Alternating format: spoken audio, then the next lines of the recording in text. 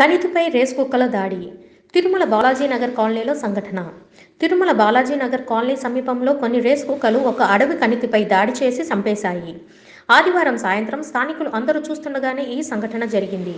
ఈ కణితి మృతదేహాన్ని రేసు కుక్కలు అడవిలోకి ఈడ్చుకు వెళ్ళేందుకు ప్రయత్నించగా అక్కడున్న స్థానికులు రేసు కుక్కలను తరిమేయడంతో దూరంగా వెళ్ళిపోయాయి